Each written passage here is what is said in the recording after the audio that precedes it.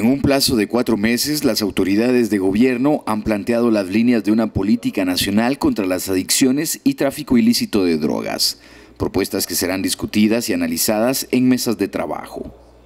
La iniciativa contará con ejes fundamentales como socioeconomía, comunicación, tratamiento, prevención y un observatorio nacional de drogas, según lo explicó Edgar Ovalle, titular de la Secretaría Ejecutiva de la Comisión contra las Adicciones y el Tráfico Ilícito de Drogas, SECATID.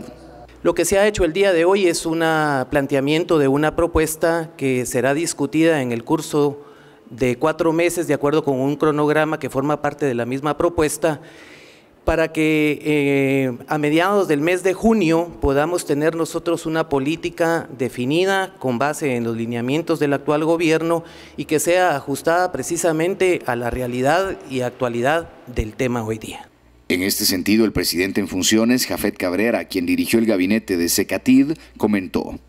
Y entonces primero tenemos que entrarle al meollo del asunto, que es cómo atender la problemática actual que tiene Guatemala en términos de salud, que es donde entra el, tema de las drogas.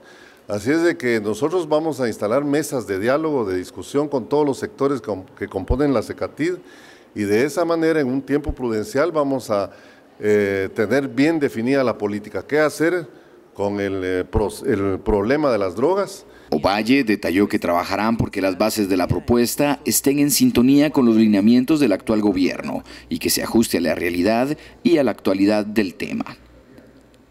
Para DCATV informó Carlos Alonso.